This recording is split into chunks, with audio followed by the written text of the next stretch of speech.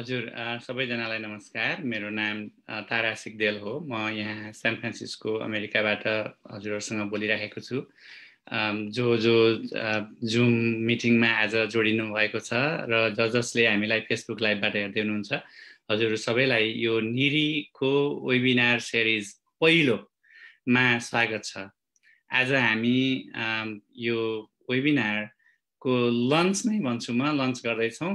यसबाट हामीले तिनवटा कुराहरू अचिभ गर्न खोजिरहेको छौँ। म त्यसलाई एक दुई तिन भनेर भन्छु। यो किन वेबिनार गर्न खोजियो भन्ने कुरामा यस्तो किसिमको कामहरू आजभन्दा पचास साठी सत्तरी वर्ष अघि हुनु पर्थ्यो जस्तो लाग्छ मलाई। यो रिसर्चको बारेमा विज्ञानको बारेमा हाम्रा कुराकानीहरू अलि गहन रूपमा पहिला नै हुनु पर्थ्यो त्यो चाहिँ भएको छैन र अब हामी सुरु गर्दैछौँ। र यसले के गर्छ भने हामी रिसर्च गर्नेहरू यी वैज्ञानिक भन्छन् रिसर्चरहरू भन्छन् यिनीहरूले के गर्छन् ल्याबमा गएर भन्ने कुरा हामीले हाम्रो परिवार मात्र होइन। परिवारभन्दा बाहिर पनि हामी कम्युनिकेट गर्छौँ। हाम्रा बा आमाको जेनेरेसनसँग पनि कम्युनिकेट गर्छौँ हाम्रो साथीहरूको जेनेरेसनसँग पनि कम्युनिकेट गर्छौँ र हामीभन्दा यङ जेनेरेसन जुन छ तिनी उहाँहरूसँग पनि कम्युनिकेट गर्छौँ। त्यसको एउटा प्रयोजन यो वेबिनारको प्रयोजन एउटा थियो अर्को चाहिँ हु इज हु हामी नेपाली वैज्ञानिकहरू नेपाली रिसर्चरहरू अकाडेम एकाडेमियामा को छौँ कहाँ छौँ के गर्छौँ त्यसको बारेमा पनि यसले जानकारी गराउँछ। हामी यसरी जुट्छौँ एउटै कोठामा जुट्छौँ पहिले भेट नभएका साथीहरूलाई भेट्छौँ र उहाँहरूको कामहरूको बारेमा बुझ्छौँ। त्यसलाई त्यसलाई पनि यसले फेसिलिटेट गर्छ त्यसलाई सहज बनाउँछ। यो चाहिँ दोस्रो अप्सन दोस्रो पर्पज हो। र तेस्रो पर्पज भनेको हाम्रो यङ्गर जेनेरेसन हाम्रो विद्यार्थी जो वर्ग हुनुहुन्छ उहाँहरूले हाम्रो दाईहरू को हुनुहुँदो रहेछ हाम्रो काकाहरू को हुनुहुँदो रहेछ हाम्रो अलिकति अगाडिको जेनेरेसनमा रिसर्चर गर्नेहरू प्रोफेसरहरू अथवा साइन्टिस्टहरू को हुनुहुँदो रहेछ। उहाँहरूकै बाटोमा म लाग्न सक्छु कि उहाँहरूले के काम गर्नुहुँदो रहेछ भनेर अलिकति रोल मोडलको काम पनि होस् र त्यसलाई अलिकति बाहिर आउटरिच पनि होस् भन्नको लागि यो वेबिनार हामीले आयोजना गरेका छौँ। निरी भनेको असाध्यै एउटा यङ अर्गनाइजेसन भर्खरै हामीले लन्च गऱ्यौँ जनवरी फर्स्ट ट्वेन्टी ट्वेन्टी वानमा हामी असाध्यै सानो उमेरको संस्था हौँ। यसको बारेमा अलिकति केही प्रकाश पाइदिनु हुन म यो संस्थाको चेयरम्यान डक्टर राजेन्द्र पङ्गेनीजीलाई अनुरोध गर्दछु। Rajendraji? Thank you sir thank you everyone यहाँहरू सबैजनालाई निरीको पहिलो वेबिनार सिरिजको आज पहिलो दिन हो। यहाँलाई हार्दिक धन्यवाद व्यक्त गर्न चाहन्छु। On behalf of Niri family Niri हामी सत्ताइसजना मिलेर सुरुवात गरेका हौँ तर यो सत्ताइसजनाको संस्था होइन यो यहाँहरू सबैजनाको संस्था हो। हामीले भन्ने गर्छौँ यो सबै नेपालीको साझा संस्था बनोस् भन्ने चाहन्छौँ। अनि हामी एक वर्ष लगभग एक वर्ष जति छलफल गऱ्यौँ निरी कस्तो मोडलमा अगाडि लैजानु पर्ला भनेर। हामी विश्वभरिका साथीहरू छौँ कहिल्यै नभेटेका कहिल्यै नचिनेका एकअर्कालाई ती पनि हामी कमन एउटै उद्देश्य साझा उद्देश्य साझा सपना लिएर निरीमा जम्मा भएका छौँ। मलाई लाग्छ यो आफैमा एकदम सुन्दर हो। नेपालका सबै प्रदेशका साथीहरू छौँ र यहाँ पनि सबै महादेशका साथीहरू जम्मा भएका छौँ। म लामो कुरा गर्नुभन्दा पनि छोटोमा के भन्न चाहन्छु भने हामी यहाँहरू सबैजनासँग सहकार्य गर्न कोलाबरेट गर्न जहाँ सम्भव हुन्छ त्यहाँ सँगै काम गर्न एकदमै तयार छौँ आतुर छौँ। यो निरीलाई हामी सबैको साझा संस्था बनाउन सकौँ। यहाँहरूको सहभागिता यहाँहरूको सहकार्य हाम्रो लागि एकदमै महत्त्वपूर्ण छ। र हामी नयाँ जेनेरेसनलाई केही समयपछि वर्षौँसम्म पछि पनि हामी हाम्रो लाइफमा फर्केर हेर्दा हामीले निरी बनायौँ एउटा संस्था बनायौँ जुन नेपालीहरूको साथ संस्था बन्यो भन्न सकौँ। र यसको ग्रोथ चाहिँ लिमिटलेस होस्। जो पनि म काम गर्छु म अलिकति रिसर्च गर्छु भन्ने कोही पनि साथीहरू कोही पनि यङ्स्टर्सहरू यहाँ आएर जोडिएर केही न केही काम गर्ने वातावरण बनाउन सकौँ भन्ने हाम्रो प्रयास जारी रहनेछ। यहाँहरू सबैजनालाई फेरि हार्दिक स्वागत आभार र कृतज्ञता व्यक्त गर्न चाहन्छु निरीको तर्फबाट र म फेरि तारा सरसँग जान चाहन्छु थ्याङ्क यू सर हजुर thank you so much Rajji हजुरले निरीको छोटो परिचय दिनुभयो। अब म ढिलो नगरिकन वेबिनारको तिर लाग्दैछु र त्यो वेबिनारको सुरु गर्नुभन्दा अघि म आजको हाम्रो स्पिकर हुनुहुन्छ डक्टर बिलोन खम्बु उहाँलाई स्वागत गर्न चाहन्छु। आज हामी एउटा टपिक जो अलिकति हाम्रो लागि अलि नौलो अलि एक्जोटिक नै छ नयाँ नयाँ टपिक हो। हुन त टु थाउजन्ड सिक्सटिनमा यो अटोफेजी भन्ने जुन शब्द छ यो शब्द बायोलोजिकल साइन्सेसमा नौलो त होइन तर पनि जनमानसमा अलि नौलो नै छ। यसलाई मैले हिजो फेसबुक पोस्टमा लेख्दाखेरि अटोफेजी भनेको के हो भनेर भन्दाखेरि यो चाहिँ हाम्रो घरको भ्याकुम क्लिनर जस्तो हो। घरलाई बेला बेलामा सफा गर्नुपर्ने हुन्छ। यदि हामीले बेला बेलामा सफा गरेनौँ भने त्यसको थो फोहोरको थुप्रो बढ्दै गएर घर नै दूषित बनाउने र गनाउने र बस्न अनुपयुक्त हुने सम्भावना हुन्छ। त्यस्तै काम हाम्रो शरीरको सेल्सहरूमा भइराखेको हुन्छ अर्गनहरूमा भइराखेको हुन्छ र त्यसको बारेमा अहिले गहन अध्ययन अनुसन्धानहरू जारी छन्। र त्यही अध्ययन अनुसन्धान गर्ने एउटा व्यक्तित्व हाम्रै समुदायको हाम्रै बिलोन डक्टर बिलोन खम्बु आज हामीहरूको बिचमा हुनुहुन्छ। उहाँले हामीलाई role of autophagy in liver diseases को बारेमा कुराहरू गर्नुहुनेछ। बिलोनजी काठमाडौँबाट भक्तपुरबाट हुनुहुन्छ। उहाँ चाहिँ भक्तपुरको मध्यपुर अहिले मध्यपुर नगरपालिका भएको छ। के अरे मध्यपुरमा जन्मनु भयो त्यहीँ हुर्कनु भयो त्यहीँ स्कुलिङ गर्नुभयो। अहिले अमेरिकाको न्यु अर्लिन्समा युनिभर्स टुलेन युनिभर्सिटीमा एसिस्टेन्ट प्रोफेसरको रूपमा काम गर्दै हुनुहुन्छ। उहाँ उहाँ चाहिँ आफ्नो परिवारसँग आफ्नो श्रीमती आठ वर्षको बाबु आठ महिनाको छोरीसँग त्यहाँ न्यु अर्लिन्समा बस्नुहुन्छ। यो चाहिँ लुइजियाना राज्यमा पर्छ। न्यु अर्लिन्समा मुभ गर्नुभन्दा पहिला Bilonji Indiana University School of Medicine जुन चाहिँ इन्डियानामा पर्छ त्यहाँ पोस्टक हुनुहुन्थ्यो। पोस्टको पोस्ट डक्टरल ट्रेनिङ त्यहाँ गर्नुभन्दा अघि पिएचडीको डिग्री बिलोन्जीले क्योटो युनिभर्सिटी स्कुल अफ मेडिसिनबाट लिनुभएको छ। जापान जानुभन्दा पहिला BP Koirala Institute of Health Sciences School of मेडिसिनबाट masters गर्नुभएको छ।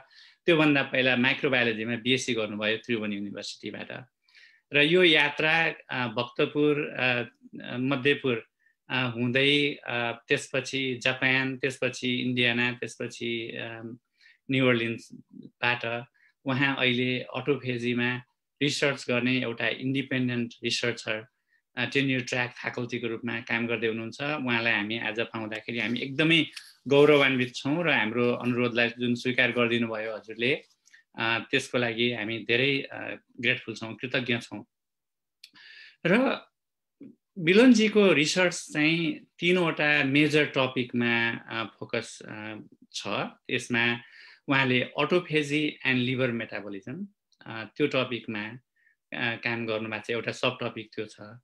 यसले कसरी लिभर मेटाबोलिजममा इम्प्याक्ट गर्छ भन्ने। अनि सेकेन्ड टपिक छ role of autophagy in disease degeneration and regeneration. यो विशेष गरेर लिभरमा बढी एप्लाई गर्छ त्यो बढी रेलेभेन्ट छ लिभर चाहिँ एकदमै हाइली रिजेनरेटिभ अर्गन हो। त्यो पनि हामी अलिकति सुन्नेछौँ। त्यसपछि molecular mechanisms of autophagy during cellular stress यो चाहिँ हुन त उहाँको कन्टेक्स्ट चाहिँ लिभर छ तर यो चाहिँ अलिकति ब्रड हो। यसले कसरी यसका चाहिँ मलिकुलर प्रोसेसहरू के हुन् यसमा कुन जिनहरू इन्भल्भ हुन्छन् कुन प्रोटिनहरू इन्भल्भ हुन्छन् यसको चाहिँ भित्र इन्जिनभित्र भनौँ अब इन्जिन भनेर मैले एउटा एनालोजी दिन खोजेँ। तर यसको डिटेल प्रोसेस के हो त्यसको बारेमा हामी आज सुन्नेछौँ। अब मैले यति बिलोन डक्टर बिलोन खम्बुको यति इन्ट्रोडक्सन गरेँ। अब विथआउट एनी फर्दर ड्यु म डक्टर बिलोन खम्बुलाई स्वागत गर्न चाहन्छु। Bilonji mike is with you welcome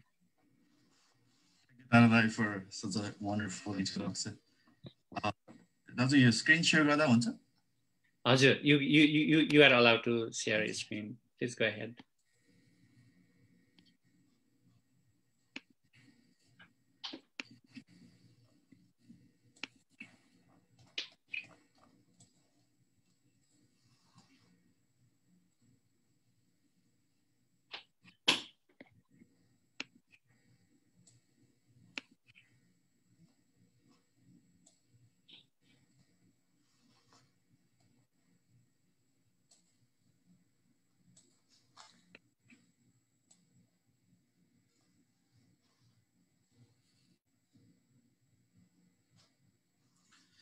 Hello and नमस्ते एभ्री वान साथीहरू म यो रिसर्चको विषय भएकोले म आफ्नो सबै रिसर्चको स्लाइडहरू अङ्ग्रेजीमा नै प्रस्तुत गर्छु। मैले तारा दाईसँग कुरा गरिसकेको छु।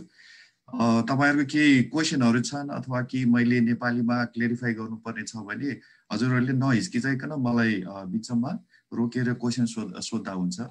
कति कुरा अब यो रिसर्चको साइन्टिफिक टर्महरू नेपालीको ठ्याक्कै रूपान्तरण नभएकोले म जेनरली यो स्लाइडहरू चाहिँ अङ्ग्रेजीमा रिप्रेजेन्ट गर्छु तर क्वेसन एन्ड एन्सर चाहिँ अङ्ग्रेजी अथवा नेपालीबाट हामी गर्दा हुन्छ भन्ने चाहिँ सोचेछु आजको मेरो basically friends welcome to this seminar the title of my today's talk is role of autophagy in liver diseases so before I really start my talk I'd like to thank Niri for giving me this wonderful opportunity to showcase my lab's research work Uh, in today's talk, basically, I'm going to tell a short story about three different things. One is about how liver disease develop in a pathological perspective.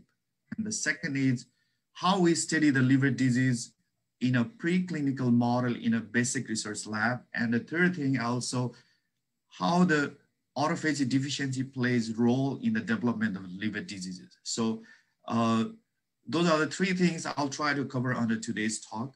So these are my disclaimers. I have no conflict of interest nor commercial interest to disclose. And I'm not a clinical doctor, so any questions related to liver disease need to be consulted to the physicians. And these are the outline of my today's talk. So basically, I'm gonna start with uh, the basics about the liver structure and the functions. Then I will show what are the pathological changes that happens in the liver diseases. Uh, and with that, also the scientific premise on which we base our ongoing research work. And with that, also the different kind of preclinical models that are used to study the liver diseases.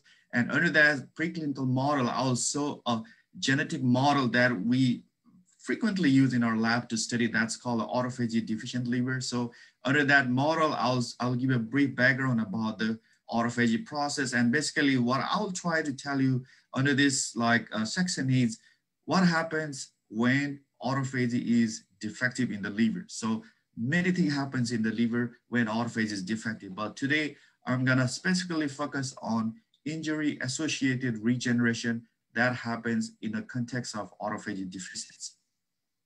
So let's get started with the basics about the liver structure and the function. So as we all know, liver is one of the largest and the biggest organ of human body that's located in the upper right side of the abdomen below the diaphragm. So it has different functions ranging from carbohydrate, lipid, or protein metabolism. The liver also detoxify the drugs or the xenobiotics. Liver can synthesize different plasma proteins and secrete it into the general circulation. And one of the very popular function of liver is to synthesize the bile acid. As we all know, bile is synthesized by the liver then it's secreted out from the liver and temporarily stored into the gallbladder. And with the intake of food, then the, the bile acids are squeezed and secreted from the gallbladder out into the intestine. And it, in the intestine, this bile acid is necessary for the absorption and the digestion of the lipids. So at a very cellular level, the liver consists of different types of cells. However, one of the very important cells in the liver is the hepatocytes that makes up the 80% of the total liver volume. And other cells that are present in the liver are endothelial cells, stellate cells, or the immune cells, such as the Kupffer cells. So when we see it histologically, one of the interesting thing about the liver is that liver receives a dual circulation. That means liver receives oxygenated blood from the hepatic artery, and liver also receives a low oxygenated but a nutrient-rich blood from the intestine through this portal vein. So here I generally try to show you the uh, histological section of the portal triad. What does that portal triad means is that there are three different like vessels. One is for the portal vein through which the liver receives the nutrient-rich like blood from the intestine. Another is the branch of the hepatic artery through which the liver receives the oxygenated blood. And another one is the bile duct. So through this bile duct, actually the liver release secretes this bile acid into the gallbladder. So we can you can clearly appreciate that this region is called like portal triad. And from the portal triad, there is a lining of the sinusoids along which there lies the like many hepatocytes in a very linear fashion, which we can see here as a form of a seat of hepatocytes running from the portal triad up to the central base. So in this general like uh, liver section, you can clearly appreciate that most of the cells are the hepatocytes and there are very few of the non-hepatocytes like the endothelial or endothelial cells, stellate cells, or the Kupffer cells. So this is the general histology of a normal liver. Now, let's see what are the pathological changes that happens in the liver during the course of liver uh, during the course of liver disease development. So the fundamental idea is very simple in the liver. What happens is a normal liver, when exposed to different hepatic stressors, the hepatic stressors could be high fat diet, alcohol, or the xenobiotics. So the first thing that happens in the liver is because of this stressor, there is a development of steatosis. What those steatosis means is actually accumulation of fat in the hepatocytes. Here we can see there are a lot of like white bubble kind of structures. Those are the fats that are being deposited within the hepatocytes. So with the development of steatosis, then the next thing that happens in the liver is called a steatohepatitis. That means there is not only accumulation of the fats, but there is now infiltration of different immune cells. That we call it as an inflammation. So that's why the combination of steatosis and the inflammation, it's called a steatohepatitis. So after this development of steatohepatitis, then there is a next phase of like pathological change, which is called a cirrhosis or called a fibrosis. So basically the fibrosis and cirrhosis means the liver stiffness increases because of accumulation of extracellular collagen fiber between the hepatocytes. So, so one of the very interesting thing about these pathological changes, which I would like to uh, take your attention is that no matter what kind of hepatic stressors are there, like maybe could be fat, could be alcohol or xenobiotic, they all like kind of, they all cause the same kind of pathological changes. Always start with the steatosis, then steatohepatitis and the cirrhosis. So that's why our research interest in my lab is actually to understand the molecular drivers of these liver pathologies. And well, we wanted to see whether they could be therapeutically targeted or not. Now, uh, based on that, our scientific premise about ongoing work is that there is a normal hepatocyte in the liver. When it's exposed to this different stressors like high fat diet or alcohol or xenobiotic, what happens is the hepatocytes are stressed basically, and they release different hepatic factors. We call it hepatic factors uh, because these are the factors specifically released from the hepatocyte. So, and the factor could be either X or Y. That means it could be nuclear or it could be a cytosol. Sometimes the hepatokine word is also coined. So idea is a stressed hepatocytes release these factors outside the hepatocytes extracellularly. So when the stressor level is like crossing the threshold limit, then in that context, the hepatocytes can also undergo cell death process, or we call it as a cell injury. And in that case as well, the hepatocytes release different like intracellular components that we call it as a damage associated molecular pattern. It's called a DAM. So no matter whether the hepatocyte is stressed or the hepatocytes are dying, they release the hepatic factors. And these hepatic factors are actually responsible for activating the immune cells, such as macrophages to cause the inflammation. These hepatic factors can activate the progenitor cells to stimulate the liver regeneration, or these factors can activate the stellate cells, which are a particular type of cell in the liver that are responsible for the deposition of collagen fiber for the formation of fibrosis or the cirrhosis. And we believe that the repeated uh, kind of this kind of insult results in the development of the tumor. And that's why our long-term goal in, in, the lab is to understand uh, these hepatic factors. Basically, we want to identify and therapeutically target these hepatic factors because we believe that these are the hepatic factors that are responsible for the development of all of these liver pathologies. So now let's see how we study how we study the liver pathogenesis in a preclinical model. So when I say it's a preclinical model, that means it's before the clinic. It's in a basic research lab. So, so we always start with the uh, in vivo mice model. So we have a C57 black mice. So we give, we give them different types of diet. We give them hepatotoxins or we genetically knock out uh, uh, specific genes that are important for the normal function of the cells. So in the dietary model, we give them different high-fat diets. We, we could give them alcohol or we could give them special diets such as choline deficient ethionine supplemented diet. We also give them special diet that contains the DDC toxin or we inject the mice with the CCL4 or CCL4 in combination with the DIN. These are basically uh, genotoxins. Or in the third category, we uh, specifically knock out a gene such as ATG7 or ATG5, which I'm going to discuss in more detail today. Uh, and in all of these cases, what we do is we basically harvest the liver tissue, we harvest the blood sample, and we harvest the non-liver non tissues, tissues other than the liver. So then what we do is basically with the liver tissue, we make a tissue block. Then from the tissue blocks, we use it for a general histology.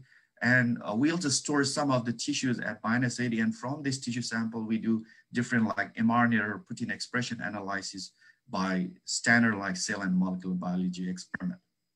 Uh, from the blood sample, we do a serum analysis such as uh, ALT or AST or analyze specific metabolites that are of interest uh, to our group. And we also isolate these other tissues for inter-organ comparative analysis. So not only this, we do take approach of in vitro as well, where we isolate the primary liver cells uh, by simply perfusing the liver. Here I saw the image of the primary hepatocytes that we can easily isolate by perfusing the mouse liver. And we do, a, after the culturing this primary hepatocytes, we basically do a standard experiment like the one I pointed out here. However, one of the problem with the primary hepatocytes is that after four to five days of culture, they lose the hepatocyte function and they start to differentiate into, into a like fibrotic type of cells. So that's why, uh, you know, whatever experiment that we have to do, we have to do it within that four days of time period. And that's why we generally switch on to like uh, another hepatic cell line model that can be continuously grown and that, uh, that they can like, that have the future of the hepatocytes. So basically, uh, in today's talk, I'm going to talk about this genetic knockout model where a particular gene such as ATG7 or ATG5s are knocked out in the hepatocytes, and we give a term like autophagy deficient mice.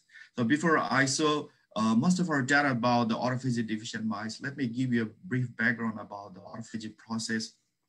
So autophagy process, as Taradai just like uh, give a brief background in a very layman aspect, to me, I envision autophagy process as a dumpster truck that collects all the cellular garbages and make us make our household stay clean.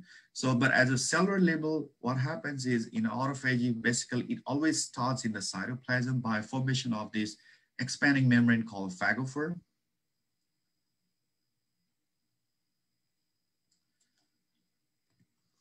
So this phagophore basically then expands and like forms a double membranous vesicle called autophagosomes. And this autophagosome formation is actually the hallmark for the induction of autophagy. And these autophagosomes can be clearly visualized uh, in the electron microscope as a double membranous vesicle where we can see the different cytosolic components such as mitochondria or ER or the protein aggregates being enwrapped. And these autophagosome can also be visualized as a punta-like structure in the cytosol of the cell by doing immunofluorescence staining for the LC3. So after the formation of autophagosome, then it fuses with the lysosome to make autolysosomes, and it is actually inside these autolysosomes where different cytosolic components are broken down into a simpler unit for the recycling purpose. So, so basically in the field of autophagy, there are, uh, there are two scientists that has been awarded Nobel Prize. One was to Christian Dubé from Rockefeller University in 1974. He was also the one to discover the lysosome and the term the word autophagy. And the second one was uh, to the Professor Yoshinori Ohsumi in 2016 for the discovery of different autophagy related genes. However, since 1960 to the 1990s, the, most of the autophagy related studies were done at a structure and morphological level. However, with the discovery of different autophagy related genes by Professor Yoshinori, then there was a rapid surge in understanding the basic molecular mechanism of autophagy. That means basically people try to like understand different signaling pathways and about the origin of the membrane for the phagophore. So now we basically know pretty much about the uh, different mechanisms that are involved in the induction of autophagy. However, in the field now, uh, people are now uh, trying to understand the pathophysiological role of autophagy in different tissues and uh, also trying to therapeutically target this autophagy process either by inhibiting or by activating in the disease conditions. So my lab is actually interested to understand the role of autophagy in the liver tissue. And in my lab right now, we have a three different project team. One is about autophagy in disease, degeneration, and regeneration. I'm gonna going to talk in more detail about this project team today. We also have a resource team about role of autophagy in metabolism, and we're hoping to expand our project team on autophagy and liver development after we get our first independent R1 grant. Under the project team B, what we basically try to show is, I mean, in the field, we're trying to push a novel concept about the autophagy uh, and how it contributes to the metabolism. So in the field, what is known is autophagy basically degrades the different nutrients and recycle it. And by that way, it contributes to the metabolism. But what we are trying to push a novel concept is that autophagy not only do like that, autophagy can regulate the transcriptionally regulate the different signaling molecules such as FXR or nuclear receptors and directly contribute to regulate the different metabolic enzymes. So uh, that's a kind of, we think it's a novel concept uh, which I think uh, people may like it. And that's why we're pursuing the autophagy in that uh, autophagy role in metabolism in that direction. So, but I'm not going to talk about this uh, project team yet, but I'll focus on project team uh, yet today where uh, I try to show what are the pathological consequences that happens in the liver deficient with autophagy. So that's why we, the first question that we wanted to know is what happens when autophagy is defective in the liver? So to answer that question, we first uh, generated this hepatocyte specific ATG7 knockout. So ATG7 is one of the important gene that is necessary for the autophagy formation. So if there is no ATG7, there is no autophagy process. And I'd like to remind you here that this ATG7 knockout is specific in the hepatocytes and there are other cells uh, in the liver other than the hepatocyte. So the way we generate these hepatocyte specific AT7 knockout is we have a AT7 flox mice. We basically cross these mice with the albumin Cre mice. This albumin Cre mice is actually expressed the Cre recombinase uh, and the Cre recombinase expression is regulated by the albumin promoter. So we get this hepatocyte specific AT7 knockout uh, and one of the important thing what I would like to pinpoint here is that these hepatocyte specific knockout mice has intact autophagy in non-hepatocytes or the tissue other than the liver. So the autophagy is defective only in the hepatocytes, which we can see here by a Western blot of the liver lysate where we don't see the expression of ATG7 and we see the accumulation of a P62 protein, which is actually a autophagy substrate that is accumulated when autophagy is defective. Actually, this P62 is an adaptor protein that is utilized by autophagosome to like phagocytose these different like cytosolic components. So we can see the accumulation of this P62 protein uh, in a just histological analysis here. We saw that there's a good amount of P62 uh, brown staining uh, and the P62 green staining in an immunofluorescent staining of this liver section of autophagy defective liver. So what happens when autophagy is defective is actually many things happen when autophagy is defective. The very first remarkable thing is there is a severe hepatomegaly as shown here by a bigger liver size as compared to the normal one. And the hepatomegaly is because of hypertrophic hepatocytes. The size of hepatocytes are pretty much bigger compared to the normal hepatocytes. Another remarkable like feature of uh, the liver is that there is a severe liver injury. What does that mean is that there is increase in the release of these hepatic enzymes such as transaminases, ALT transaminases in the general circulation. And in this model, the liver injury starts from the sixth week of age. And because of this liver injury, there is severe infiltration of F480 positive like inflammatory cells.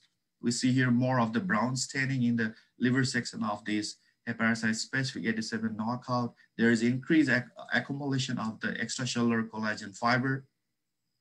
Also increase in expression of the different fibrotic genes such as collagen and TIMP1. And this might spontaneously develop a tumor by the age of nine months where we see a lot of tumors being popping out uh, and the number and size of this tumor gradually increase as the mice gets older. And because of all of this phenotype, the mice actually has a higher mortality rate. So we have verified this phenotype in uh, ATG5 knockout model, which is another important autophagy related genes. We have verified this phenotype in an indicible model of uh, autophagy knockout. However, one of the important thing, what, what we have noticed during the development of this liver phenotype is that this model reflects the all the stages of liver disease, beginning from liver injury to inflammation to fibrosis to the tumor development. So that's why we believe that studying this model will help us, or at least give us a mechanistic clue about how these different uh, pathological changes develop in the context of liver diseases.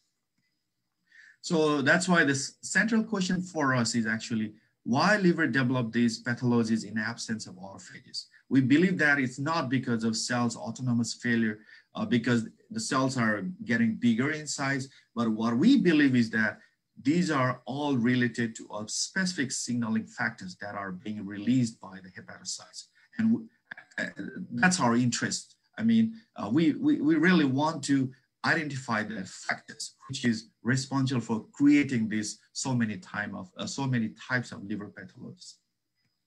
So that's why in relation to that, we have already reported one of the protein called HMGB1, which is actually a nuclear protein and we have shown that in autophagy deficient liver, the HMGB1 is actually released extracellularly and they're responsible for the expansion of the progenitor cells and they're also responsible for the tumorigenesis process. So we have reported that study earlier in 2018.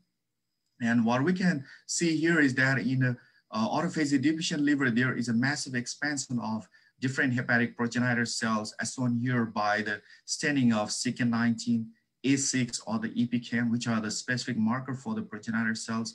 When we genetically co-delete that HMGB1 protein, actually, we don't see the expansion of these hepatic progenitor cells. So that clearly suggests that the HMGB1 is actually playing important role in the expansion of these hepatic progenitor cells. So it's not only in this autophagy deficient model, our collaborator in the Columbia University have already shown that uh, the HMGB1 does play a role in other model of the liver injury as well.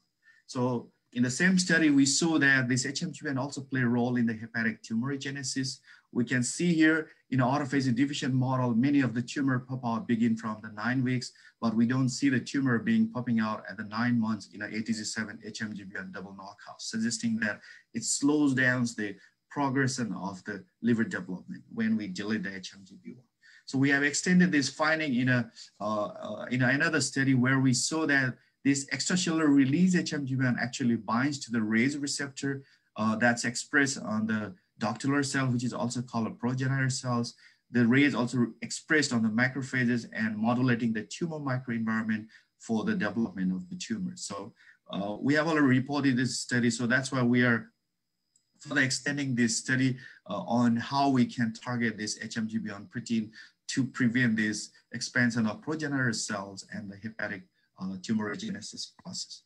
But so, uh, so, so in this model, so far, what we know is actually, we know how this uh, ductal reaction or the progenitor cell expansion happen and how the tumorigenesis happen. We know that these are mediated by the HMGB1 protein. We also know that the liver injury that is happening in this model is because of suppression of FXR and because of accumulation of cholestasis. I didn't show the data about this study today, but what we don't know right now is how this inflammation and how these fibrosis happen in this model. But however, one of the wondering thing that in, in this model for us is that despite of like severe liver injury that is happening in this model, which we can see here by increasing the transaminases in them, which are specifically expressed in the hepatocytes. That means a lot of hepatocytes are dying. But in spite of so many hepatocytes dying, what we see is that Still, the hepatic functional parameters, such as the serum albumin or the blood urea level is pretty much normal in these mice. So uh, as we all know that hepatocytes are the one that are responsible for the synthesis and secretion, secretion of the albumin. So that makes us wonder, if so many hepatocytes are dying, how, how come that the serum level of this albumin is still normal in these mice? So that makes us wonder that something is going on, which we don't know. So so that's why we, we ask this, uh, like one of the important question, like how could such severely injured liver continue the normal hepatic function? So that, uh, that's a question that hammer, our, hammer us for a couple of months at the very beginning. And the only thing that pop out in our head is probably in the injured autophagy deficient uh, liver, there might be a new wave of hepatocytes that coming in and those new hepatocytes is taking on the function of lost hepatocytes. So that's the only possibility that we have it in our mind. And uh, that's why we ask, are there any regenerating new hepatocytes in the injured autophagy deficient hepatocytes? And uh, we took a very general approach. We did a general histological analysis in the older mice of four to nine months old. Since my lab is in a pathology lab, so we we we have like good infrastructure to do uh, the staining and uh, take a good like uh, imaging of those general histological uh, slides. So so we took this approach, and one of the surprising thing that we noted in, this general histological analysis that we see like patches of normal looking hepatocytes that are nicely like coexisting together with the hypertrophied and inflamed hepatocytes. I'd like to remind you that autophagy deficient hepatocytes always hypertrophy. They are bigger in size compared to the normal hepatocytes. So that, that really help us to identify these small size, normal looking hepatocytes nicely coexisting together with the hypertrophic hepatocyte. So this is just a zoom in image just to show you that there are many normal looking hepatocytes living together with these enlarged and hypertrophic hepatocytes. So this is an overlap image showing from region 1 to region 16, just to give you an overview about the extent of the presence of these new hepatocytes in a single section. So after discovery of this like new hepatocytes, uh, we basically went on asking what are these cells? So are these cells new hepatocytes? If they are new hepatocytes, are these cells autophagy competent or incompetent? So that was that was really uh, interesting question for us, and then that's why we we to checking whether they are autophagy competent or not competent. And one of the way to check the autophagy competency is by examining the P62 expression level. I mentioned earlier that P62 is autophagic substrate. So when autophagy is defective, then P62 is accumulated. Uh, so that's why we did a P62 immunofluorescence staining in this liver section. And to our surprising, what we found is that there were a lot of like areas in the liver section where P62 was negative.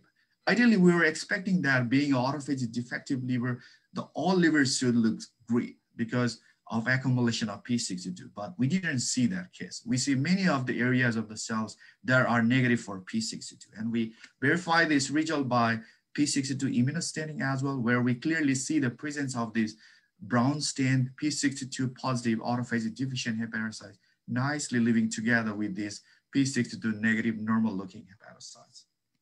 So we also verify this result in a ATG5 knockout model, which is another autophagy defective model. We clearly see many of the P62 negative areas uh, in this ATG5 liver section as well. This is another immunohistology staining for the P62, again, uh, showing from region one to the region two. There are many of the areas that are P62 negative in this section. So this is a zoom in image just taken from the 4x to 40x magnification. I'm sure you'll uh, pretty much appreciate about the presence of these new regenerating hepatocytes that are autophagy competent. I zoom in the image for this 40x and try to show you with the yellow arrow that there are many like uh, normal looking hepatocytes that are clearly uh, coexisting together with this brown stained P62 positive autophagy deficient hepatocytes. So, uh, so far the conclusion of this study is that there is a new hepatocytes that are autophagy competent appearing in the injured autophagy deficient liver. So, so after this uh, finding, then we want to we went on uh, taking a very conventional triple WH approach. So uh, basically, we raised four separate questions.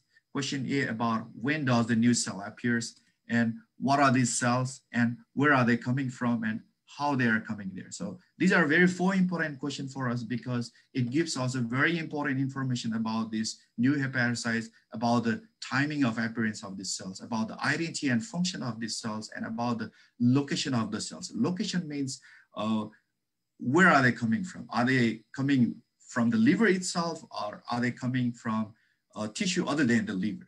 And, we, uh, and also it gives information about the factors that are responsible for recruiting these cells into the liver. So we are actively pursuing this, uh, this new hepatocytes in these four different directions. So I'm not going to show all the data, but I'll try to show some of our unpublished data about this question A and question B. So I'll start with the question A about when does this new cell appears in this injured liver. So to answer this question, we basically, again, uh, took the in vivo approach. We basically crossed these 87 flox mice, but this time with the inducible pre-ERT2 mice. So this is an inducible model of ATG7 knockout. So what happens is we generate an ATG7 uh, ERT2 mice. So these mice are pretty much normal because the induction has not been done. So what happens is basically when in a normal situation, these mice express the Cre recombinase, but actually it is trapped in the cytosol because the Cre recombinase is actually fused with the uh, estrogen receptor. So because of trapping of this like Cre recombinase in the cytosol, the ATG7 is expressed in a very normal way. But however, when we inject the tamoxifen, what happens is the, this Cre recombinase is actually translocated from the cytosol into the nucleus. And it, once in the nucleus, then uh, it deletes the ATG7. So until and unless we don't inject the tamoxifen, this mice is a pretty, a pretty wild type mice. So we have already established this model where we know that we need to inject twice the tamoxifen on day one and day two, and the ATG7 knockout happens on the day seven, and these mice develop the injury by day 15. So basically there is a time lag of one week uh, after the ATG7 knockout. So in this mice, we collected the liver tissue at a different time point and we looked for the P62 negative cells. And to our surprising, what we found is that we saw those new regenerative hepatocytes only after day 30. So we can see here the presence of a cluster of P62 negative cells on day 30 and the number of cells gradually increase as the mice gets older. And we didn't see the presence of these cells before the day 30. That's why that makes us to conclude that this new hepatocytes actually arise only on day 30. That means there is a time lag of two weeks after the onset of liver injuries. So the injury is necessary for the uh, appearance of this new hepatocytes. That's the information that we got it from this uh, study of this inducible model. So we also took another approach about crossing these mice with the Rosa mice. This Rosa mice is actually a double fluorescence pre-reporter mice.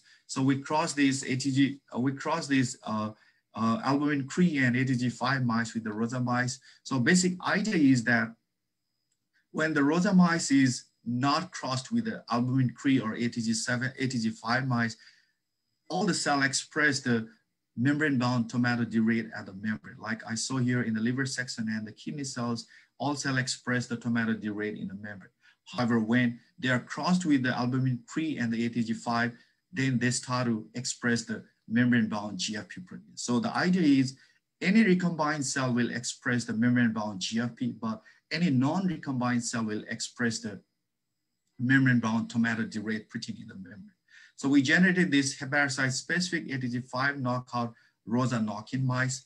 And to our surprising, what we found was that there are like membrane-bound GFP expressing hepatocytes, but not only that, there are a cluster of cells that do not express the GFP in the membrane. And actually, these are actually tomatodirate positive, and these are the Murray's image trying to show you that how nicely these new hepatocytes that are non-recombined that are expressing the tomatodirate nicely coexisting with the uh, autophagy deficient GFP expressing uh, hepatocytes. So this is another image just to show you the cluster of these autophagy competent new hepatocytes uh, coexisting together with these autophagy incompetent hepatocytes. So this suggests that new hepatocytes appear in a autophagy incompetent liver, and this new hepatocyte paradoxically autophagy competent. So we already uh, characterized these cells by doing a different like cell specific markers. And so far all of the like hepatocyte specific markers are expressed by those new hepatocytes. That's why we know that these are indeed actually hepatocytes, not the other cells. So uh, overall summarizing my talk. So what we know so far is autophagy deficient liver is a perfect genetic model to study the mechanism of liver pathologies. And autophagy deficient liver develops uh, new regenerative hepatocytes that, that appears after the onset of liver injury. And we know that these new hepatocytes are autophagy competent And right now, we don't know what is the cellular origin or the factors responsible for the uh, recruitment or the development of these cells uh, in the injured liver. So that's it about my talk. Before I close up, I would like to uh, thank all of my current lab members and also my past trainees. Also special thanks to Tulane School of Medicine for giving a generous startup package and also special thanks to ASIP and BHERD for giving some research support. So this is my lab team. And before I close up, uh, I'd like to make announcement that there are some lab openings in my life. If anybody's interested, uh, please do not hesitate to uh, shoot me an email. And uh, finally, I would like to thank you all uh, for your attention. I'm ready to take your question, comments, or suggestions. Thank you.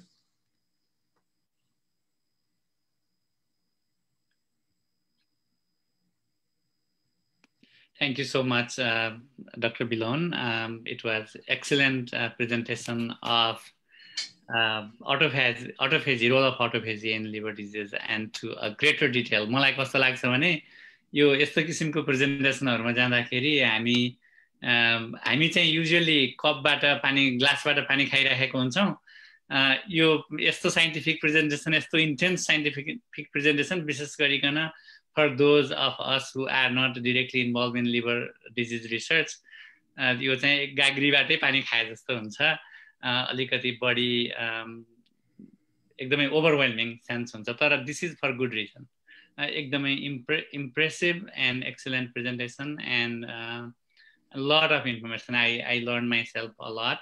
Uh, being a researcher who is working in the field of kidney, uh, it, it is really nice to see uh, there are some corollaries in bit some parallels in between uh, kidney and and liver disease and i will i will i'm very happy that i can come uh, and talk with you about maybe uh, some cross uh, collaborations in between our labs मैले केही हातहरू raise गरेको देखेको छु म चाहिँ अब यहाँ देखेको बाटो जान्छु हजुरहरूले पालोबाटै गइदिनु होला पहिला first of all I would like to invite doctor Vikram Sharma for his question Vikramji please go ahead hello बिलनजी excellent talk remarkable work है अनि मलाई म चाहिँ एकदमै एक्साइटेड भएँ तपाईँको टक देखे सुनेर। किनभने इन द सिमिलर लाइन यो जुन कम्पेन्सेटरी सेलको कन्सेप्ट छ it's not only in liver I I I saw this in in in the heart itself during the developmental stages. There is like, we have identified this new progenitor set of cells that would compensate to other, like multiple population of cells involved in the development of heart. So that is really exciting. And I think it is a very common theme for organogenesis and, and maintenance of the tissue health. मेरो एकदमै interesting लागेको र मलाई curious भएको question चाहिँ यो जुन new population of cells तपाईँले को एक्जिस्ट गरेको देख्नुभयो नि so you just look at it in a snapshot in the adult stage right so has anybody looked at like developmental lineage either they exist in the adult as like a heterogeneous populations because they were there to start with or upon injury there is some kind of uh, these uh, uh, extracellular factors that are secreted by the injured cells to go on to induce de-differentiation of existing non-hepatocyte cells. Or possibly like a, there is like some kind of progenitor uh, population that exists within that tissue and then these uh, these uh, factors kind of turn on those uh, developmental genes and they differentiate into hepatocytes so so eh, so far what i understood is you understand that they exist these compensatory new set of population of cells but where they arise from is is not known. Is that correct? Uh, yeah, yes, Bikram. Actually, uh, those are the questions or concerns that uh, that's raised by the reviewers of the grant. Actually. so can you do like a rainbow? You know, so the there's like a common hepatocyte progenitor, early progenitor, like a rainbow, uh, single cell um, clonal analysis maybe you can parse it out if you can see multiple clones of progenitor cells uh, giving rise to hepatocytes and then maybe you can delineate these individual clones patches to see which ones of those are these new population of cells I, uh, yeah Bikram actually uh, यो new हेपारासाइजको केसमा अहिले मैले सबै कुरा present गर्न त पाइनँ विक्रम होइन तर एउटा रिमार्केबल फिचर अलिकति जसले गर्दा हामीले चाहिँ यो प्रोजेक्टमा चाहिँ ड्राइभ गरिरहेको कुरो चाहिँ we see that these hepatocytes not only express the hepatocyte marker, actually they express uh, immune cell markers. Oh, wow. That, that's really surprising thing for us. And we are really curious why hepatocytes express the immune cell marker. It's, it's kind of like surprising thing for us. So maybe they're like a transient in between cells that can differentiate into immune, right. immune cells right. or also the hepatocytes. So that's why, uh, you know, what we are thinking right now is actually these cells are not coming from the liver. Actually, these cells are coming from outside the liver and it's very likely they are coming from the bone marrows and wow. has got a stem cells. So they likely migrate into the circulation and get into the liver, which is injured, which is actually looking for a new phase, new rounds of hepatocytes. We are thinking in that direction. And that's why one of the goal of this uh, study is to identify that hepatic factor which is responsible for recruiting those uh, bone marrow cells into the liver. But we, we don't have the evidence right now whether the bone marrow cells are coming into the liver or not. Uh, but but we are working on that one, like kind of you know analyzing the bone marrow samples, analyze tracking those like bone marrow cells by doing a, a X radiation experiment. So we are still in the early phase, and we are heading in that direction. Maybe you can lineage stress some of those bone marrow cells and see in the and then lineage stress in the injured mice and see if you can uh, trace those cells into. Right, right. I mean, uh, we're hoping to do that experiment. Actually, that is a one excellent point. And I, I as a as a kidney uh, person, I would like to share something. When we did single cell uh, RNA-seq of kidney cells, we found some cells which express immune cell markers, kidney cells expressing immune cell markers. And then I got, a, I got to talk with a, a person from Caltech uh, at a meeting and he said, you know what, we see the same thing. And I had my paper in bioRxiv for 10 months because just reviewers would not accept that how could immune cell are expressed in kidney cells. So we are going in new domain. And, and thank you so much, uh, Dr. Bikram, uh, for your question and answer. Now, uh, I have been seeing multiple questions coming from Facebook Live as well as uh, in Zoom. And I also see a raised hand uh, from Dr. Uh, Santos. Um, Dr. Santos, I will come to you uh, next, but let me take one question from Zoom uh, chat box. Um, Dr. Uh, Rupendra Shrestha uh, has asked a question and I'll read that to you. I wonder if new hepatocytes are observed in human hepatic diseases. That is one question. Or is it hepatic progenitor cells that are trying to regenerate in injured liver? That's a very common question in the field of liver biologists. Uh, yeah, there, there is a uh, appearance of new hepatocytes always in injured liver, even in case of human as well. So it's not only uh, there in the mouse models that are injured, but uh, that happens in a human liver as well. That's how actually, you know, the lost hepatocytes are replenished by new hepatocytes. And uh, you, you all know that liver has got a very good capacity of regeneration. So even if we cut like two thirds of the liver, actually from the one, remaining one third, they can regenerate back to the normal shape and size. So that, that can happen. Uh, back to the question about the progenitor cells, uh, I cannot make a comment in terms of human diseases, but what I can tell in our model is that uh, I think it's not from the hepatic progenitor cells because we have some uh, preliminary evidence to show that actually they are coming outside from the hepatocytes. Hopefully I can present that data next time. Absolutely, and thank you. And I hope um, uh, Rupendra got his uh, question answered. And please always feel free to reach out to Dr. Bilon um, uh, with uh, follow-up questions. time constraints, we are going with um, these question answers in a little bit uh, crispy way. Uh, Dr. Santos, you you had a question. मेरो question भन्दा नि एउटा comment एकदम राम्रो presentation medical स्कुलमै पढे बस्न पढेको क्लासमा बसे जस्तो याद आयो अलिअलि चाहिँ। तर यति डिटेलमा चाहिँ त गइन्थेन अब जाँचमा के सोध्छन् त्यसको एन्सर कहाँ कहाँ हुन्छ भन्नेतिर ध्यान जान्थ्यो यो चाहिँ अलिकति हायर लेभलमा पर्यो।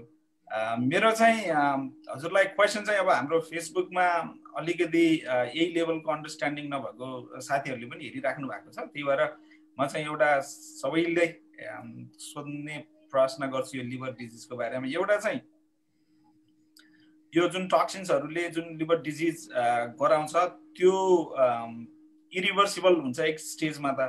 तर त्यो टक्सिन्स चाहिँ कहिले छोड्न ठिक हुन्छ भनेर सोध्नुहुन्छ धेरै जसोले होइन त्यो अब त्यसको एन्सर चाहिँ त अभियसै छ तर पनि तपाईँलाई नै भन्न दिन्छु त्यो। र अर्को चाहिँ भनौँ न मान्छेहरूमा एउटा यो लिभर ट्रान्सप्लान्टमा जाँदाखेरि चाहिँ एउटा लिभर अर्ग्यानले कतिजनालाई डोनेट गर्न मिल्छ भन्ने पनि छ लिभर ट्रान्सप्लान्टको बारेमा। मैले खास अब यो अलिकति टपिकसित सिमिलर नभए पनि यहाँ अलिकति हेरेको साथीहरूलाई चाहिँ केही टेक होम मेसेज पनि हुन्छ भनेर सोधेको यो चाहिँ क्वेसन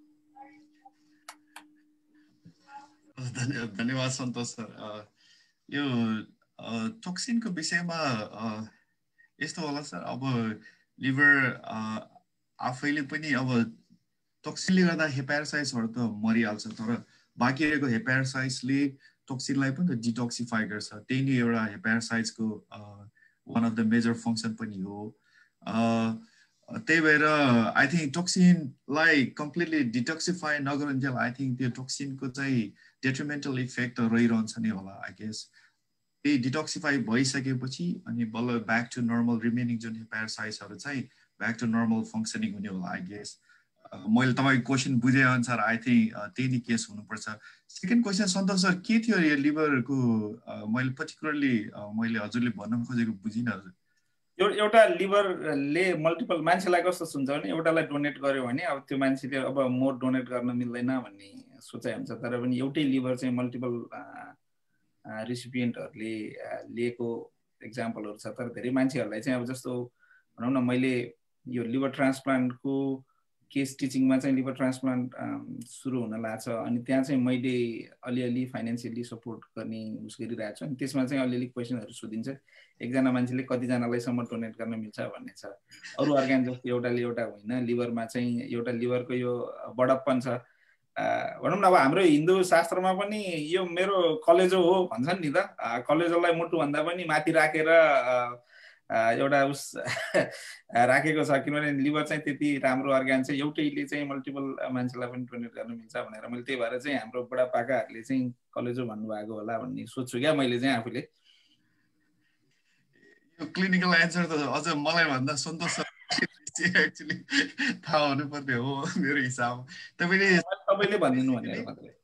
ठिक छ मैले म इन्टरभेन गरौँ है। मैले हजुर तर सर। हजुर म ट्रान्सप्लान्ट अर्गन ट्रान्सप्लान्टमा काम गर्ने भएको हुनाले I think I already know what Santosh is wanting to get from मैले भोलिन्टियर गरेँ यो liver being highly regenerative unlike kidney or heart or lung where one organ goes to one recipient uh, one liver uh, donated liver can be uh, transplanted into multiple recipients. Because it grows very well and it is considered highly regenerative.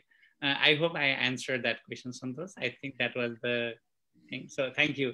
I अब हामी अलिकति एक घन्टाको mark hit गरिसकेको छौँ क्वेसनहरू छ I will try to get as many questions as possible thank you so much for your understanding म चाहिँ अब फेसबुकबाट आएको क्वेसनमा जान चाहन्छु शालिग्राम पौडेलजीले एउटा दुईवटा क्वेसन सोध्नु भएको छ म क्विकली रिड गर्छु why the new cells are always surrounded by P62 positive cells? Now, that is one question. And the second question is, what is the origin of the cells? Um, so, um, Dr. Bilon. Uh, that's a very good, good, good and interesting question. Uh, I can say that we basically don't know why uh, the P62 new cell, P62 negative new cells are always together with the P62 positive cells we, we don't know basically. That's one of the reasons we think that maybe they are originating from the non-hepatocytes like the immune cells because immune cells can they can kind of infiltrate and they they move around the uh, tissue by through the circulation so probably somehow the immune cells they got there and they probably differentiate to the hepatocytes but that's all just a hypothetical model uh, Uh, so that's what I can comment right now. What, what was the second question, Tara sir?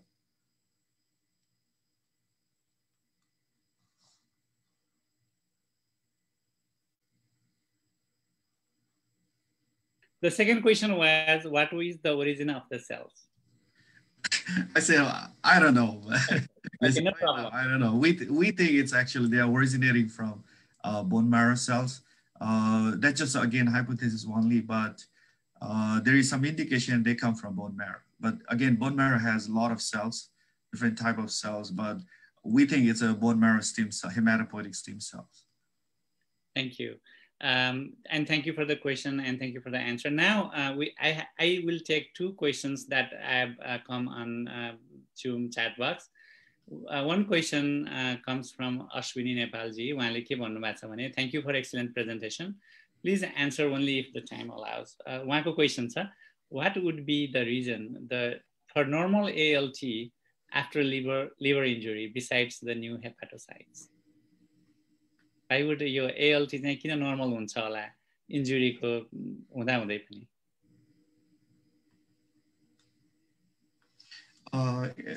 यस्तो छ आसिन भाइ ALT level normal चाहिँ होइन कि? यो मोरलमा चाहिँ अझै high नै भइरहेको छ बेसिकल्ली इट्स नर्मल चाहिँ होइन इट्स हाई नै भइरहेको छ। सरप्राइजिङ कुरा त के हो भन्दाखेरि नयाँ हेपाटाइटिस आउँदाखेरि पनि स्टिल चाहिँ एएलटी लेभल चाहिँ ब्याक टु नर्मल हुँदैन। स्टिल इट्स हाई नै हुन्छ भन्नुको मतलब इन्जुरी प्रोसेस चाहिँ अनगोइङ नै छ। सेलहरू चाहिँ मरिरहेछ त्यही भएर एएलटी लेभल चाहिँ हाई नै बसिरहेछ। यही इन्जुरी भएको कारणले चाहिँ नयाँ हेपाटाइटिसहरू चाहिँ आएर उनीहरूको फङ्सन चाहिँ टेक अन गरेको हो कि भन्ने चाहिँ हाम्रो हाइपोथेसिस हो खासमा थ्याङ्क यू अब हामी पाँच मिनट लिउँ एक्स्ट्रा टाइम र म यहाँ क्वेसनहरू जति सक्छु म पढ्छु। जेपी मण्डलजीले सोध्नु भएको छ the presence of stem cells in liver is still debated what is your take on this doctor Bilon absolutely that's true Madanji liver फिल्डमा दुई तिनवटा कुरा अझै पनि एकदमै डिबेटेबल टपिकहरू छ त्यो मध्ये एउटा चाहिँ existent of stem cell in the liver एउटा त्यो हो त्यही भएर त्यो एङ्गलबाट चाहिँ हाम्रो स्टडीले चाहिँ खासमा इन्डिकेट चाहिँ लिभरको स्टिम सेल होइन कि लिभर बाहेक लिभर बाहिरको स्टिम सेलले चाहिँ कन्ट्रिब्युट गरिरहेछ कि भन्ने चिज चाहिँ नयाँ इभिडेन्स दिएकोले खासमा हामी यो डिरेक्सनमा पर्स्यु गर्न इन्ट्रेस्टेड भएको खास हजुर thank you doctor Vikas Shakya North क्यारोलाइनाबाट सोध्नु भएको छ do all hepatic diseases involve defect in autophagy how can your model be useful in studying hepatic diseases not in not involving autophagy defect? Thank you, Vikas, for the question. Like this is the question we we every time get when we submit a paper or we submit a grant. So basically, they ask for what is the physiological or pathophysiological relevance of your model. So, that's really true. But uh, uh, but what I can comment right now is there is indeed uh, uh, many liver diseases where it's already known that autophagy process is defective. I won't say it's a deficient. So there's a difference between deficient and defective. So one of the very like uh, uh, liver disease that that's interest to us where autophagy is defective is a, a NAFLD. It's a non-alcoholic fatty liver disease where it's already established that autophagy process is blocked at the flux state. So basically autophagosome can be formed, but they cannot fuse with the lysosome. So basically there is no degradation is happening. So basic idea is the autophagy function is compromised. So uh, I can definitely say that the extent of like autophagy defect in NAFLD is not same as the autophagy deficient model, the genetic model that we have it, but most of the finding that we have in our mice can be reproduced in that model as well. So we have that evidence. So that, that's the reason actually we think that studying our model is pathophysiologically relevant uh, to common liver diseases. That, that's what we love to say there. great of course uh, the, extent of like finding may not be same it mm-hmm. the degree of the differences might be uh, it, may vary thank you so much uh, dr bikas and for the answer dr Bilon. uh, sanjivan gautam uh, from maryland bethesda great work, Dr. Khambu. Thanks for sharing your research. A quick question Do autophagy genes overexpressing mice, in, uh, which are liver specific, let's say, exist? And if so, what is the liver phenotype? Yeah, I mean, that's a good question, Sanjeevan. So I'm looking for a mice model that overexpress the autophagy, okay? So, but the mice has been created by a Korean group. So they basically overexpress the ATG5 and uh, actually it, it, just recently reported. So uh, they haven't reported any uh, specific like phenotype in the liver, but what, what they have reported is that those autophagy expressing, uh, autophagy overexpressing like mice, they do have like a kind of, uh, I think that increases a little bit longevity. And I think uh, they have kind of good cognitive functions. They basically study in terms of like neurobiology. So it's, it's none. Uh, actually, I requested that mice uh, to that Korean group so that we can study the role of uh, activation of autophagy in the context of liver, but so far, no luck. I, I hope I can get that mice. let's we we wish you all the best also अब म एउटा question आएको छ राम विनोद महतोजीले उहाँले होइन रविन्द्र मण्डलजीले एउटा question सोध्नु भएको छ त्यसमा मेरो क्वेसन पनि मिसाउँछु I a translational scientist I work on human samples as a बिलोनबाट हामीले के सुन्यौँ डक्टर बिलोनबाट भने how he has bin testing his hypothesis and different um, models and mechanisms using mice model. मेरो एउटा क्वेसन छ have you started or are you thinking of because you are a pathologist uh, are you trying to see what is happening in in human liver like what you you showed to us was uh, what was happening in in mouse liver मेरो एउटा question र त्यही क्वेसनमा जोड्छु रविन्द्र मण्डलजीले सोध्नु भएको छ is there a link between autophagy and gut microbiome maybe it's लिल bit too much but I will ask म तारालाई यो second क्वेसनबाट answer सुरु गर्छु actually we already reported a one paper about connecting the autophagy defect in the liver and the changes in the gut microbiome. So that's already published. And we know that when there is a problem in autophagy, sorry, autophagy in the liver, that changes the uh, composition of the gut microbiota. So, uh, which is actually not good. So, so obviously uh, we have reported, just, it's just published in uh, 2020, just at the end of 2020. So we know that. So changing autophagy in liver, that impacts the gut microbiota. So that's a, I think the straightforward answer for that one. So about the translational aspect of our finding, what I mean, I wish I can like uh, do something translational that uh, we're doing in a preclinical model, but at a present context, what we are trying to do is actually after coming to Tulane. So Tulane has got a, a good source of biorepository. So basically, uh, they have a collection of different uh, human clinical sample, including the liver tissues.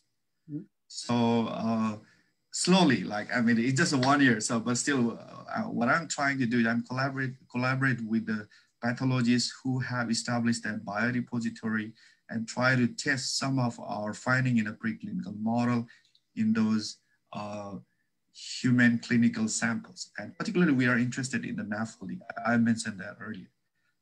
So there are cases of like, I mean, they have a tissue samples uh, collected from the uh, NAFLD, especially the NASH. So we, we hope to test our ID in that sample as well. Great, thank you. And since this is NIRI webinar, I should um, state this.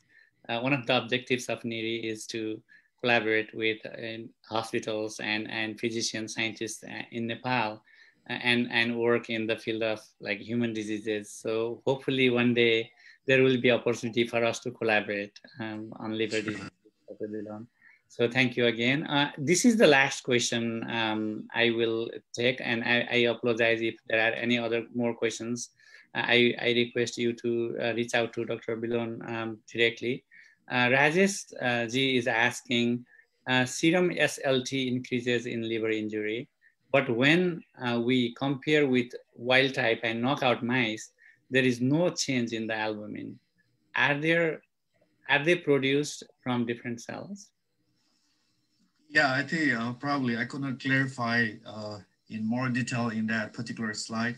Uh, that's the reason actually we, we wonder like, despite of severe ongoing liver injury, why the serum albumin level is normal in those mice. So uh, that's a perplexing question for us because we thought that a lot of hepatocytes are dying. That's why the serum enzymes are elevated. I mean, hepatic enzymes are elevated in the serum If hepatocytes are dying, then why the albumin? That's still normal because albumin is synthesized and secreted by the hepatocytes. That's the reason we started looking for the uh, presence of the new hepatocytes. हजुर thank you अब मैले हामी अलिकति टाइमलाई पनि respect गर्ने भनेको छौँ र हामी almost fifteen minutes over that ऊ भइसक्यो अलटेड टाइम भएको छौँ हामी I I respect Al your time your presence um, coming and and um, participating, asking questions, and, and your active engagement, both on Zoom and Facebook Live.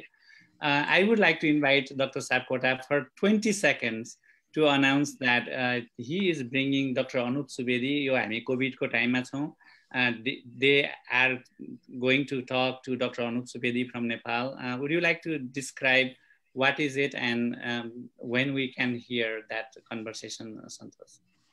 Thank you Tara sir हामीले हिजो recording चाहिँ हिजो राति सक्यो doctor Anup सुवेदीसँगको हामीले covid भ्याक्सिन्सको बारेमा डिटेलमा कुरा गरेका छौँ कस्ताले लाउने कस्ता कस्तो कन्डिसनमा नलाउने अथवा भ्याक्सिनको सेफ्टी कस्तो छ यसको बारेमा एकदम डिटेलमा कुरा गरेका छौँ त्यो हाम्रो सापटी टक सोमा आज हामी त्यो युट्युब च्यानल छ सापटी टक सो त्यसमा चाहिँ हामी ब्रोडकास्ट गर्दैछौँ Thank you.